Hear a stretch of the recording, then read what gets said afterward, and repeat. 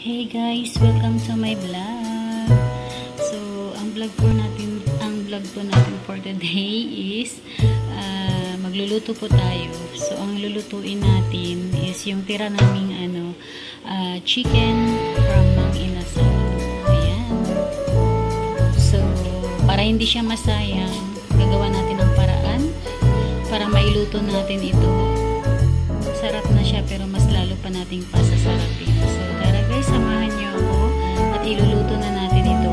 Uh, tingnan niyo kung paano natin ito pasasarapin. So, ayan, ang ating sibuyas at bawang. So, ang una nating gagawin ay ayan, ilagay tayo ng tubig. Tapos, uh, mag-add tayo ng kunting uh, ano lang, toyo soy sauce. Ayan, konti lang para ano, may kulay siya. And then mag-a-add din tayo ng uh, kunting ano lang din to guys, fish oil para pangpalasa. Konti lang din.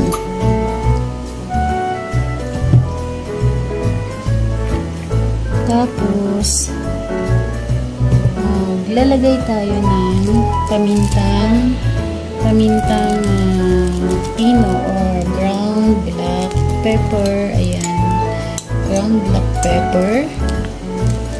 And then mag add tayo ng uh, mag add tayo ng oyster sauce. Ayan. Uh, mga dalawang kutsara ng oyster sauce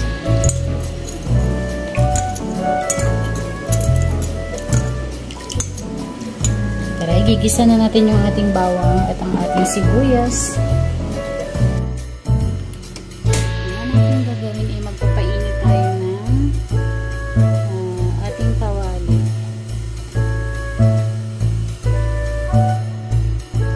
Ayan, mainit na ating kawali. So, maglalagay tayo ng